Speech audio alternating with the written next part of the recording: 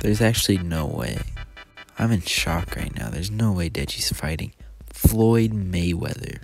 Nah, but if Deji wins, everybody here owes me like a thousand dollars. Imagine if Deji just catches him and knocks him out cold.